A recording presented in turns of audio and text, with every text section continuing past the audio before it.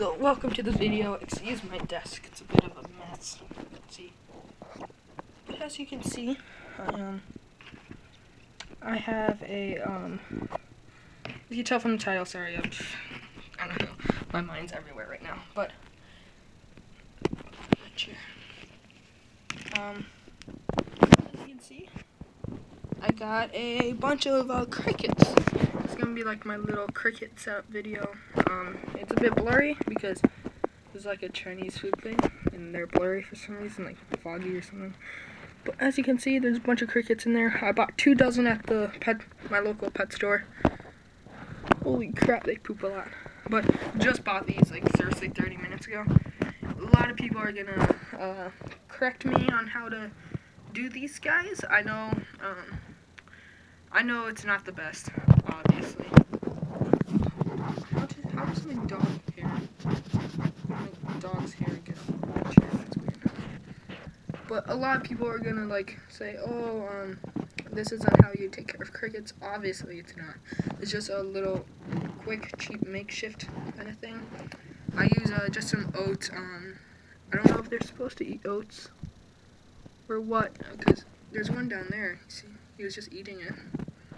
I don't even know. Uh, but these guys are like pre-gut loaded or something. Oh my god, they're just pooping like rabbits. Jeez. But these guys are pre-gut loaded. Uh, they're my pet store like really takes care of their crickets and mealworms and stuff. But um yeah, as you can see, there's like a tiny cavern there where they can get down from up there. Or on the other side there's an entrance right there. And there's a carrot in there just for moisture and stuff. Um I know I'm not the best at taking care of crickets, but they're crickets, um and I, it doesn't really matter too much. Um, yeah, 2000 all for my leopard gecko. Um, the video will be up. Well, it might have been up yesterday or today. I don't, I don't know when I'm gonna upload it, but yeah, my quick little cricket setup. They're probably go. Probably gonna go. Um, I have a carrot up here just for um. I gotta re refuel my mealworms. The carrots. Because it's trying to get moldy. But um, I'm not gonna put them in here one. I don't think they even fit. Yeah, they they will fit, I think.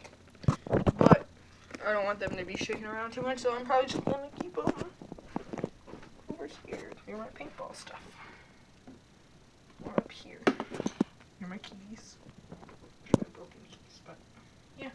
So um, yeah. So these are my this is my quick little cricket setup little video.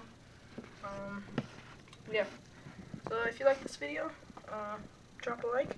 And I'll see you guys next time.